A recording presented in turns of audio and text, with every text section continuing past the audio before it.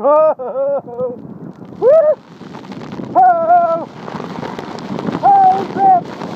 Oh!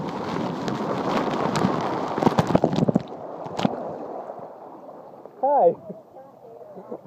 I felt like I got air off of it.